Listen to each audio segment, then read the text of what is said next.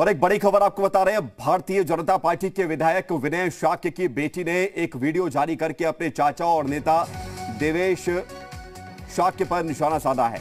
विनय शाक्य की बेटी रिया शाक्य ने आरोप लगाया है कि उनके चाचा देवेश शाक्य ज़बरदस्ती उनके पिता विनय शाक्य को उठाकर लखनऊ समाजवादी पार्टी में शामिल कराने के लिए लेकर गए हैं, जबकि हम पक्के भाजपाई हैं। तो आप ये भी देखिए कि चुनाव में ये भी हो रहा है, जो लोग पार्टी को छोड़ना नहीं चाहते, उन पर दबाव भी बनाया जा रहा है। बीजेपी विधायक विनय शाक्य की बेटी का एक बड़ा बयान सामने आया है।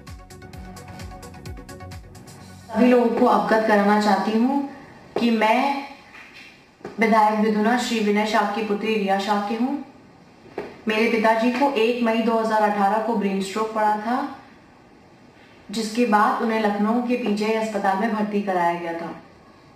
मैं धन्यवाद देना चाहती हूँ हमारे यशस्वी मुख्यमंत्री योगी आदित्यनाथ जी का कि उन्होंने उच्च स्तर पे डॉक्टर पैनल टीम बनाकर मेरे पिताजी का इलाज करवाया और स्वयं मेरे पिताजी को चार से पाँच बार पीजीआई अस्पताल में देखने आए।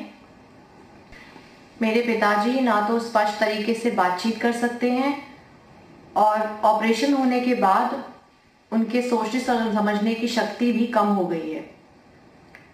हम लोग क्षेत्र में भारतीय जनता पार्टी के लिए काम कर रहे हैं, क्योंकि चुनाव नज़दीक हैं।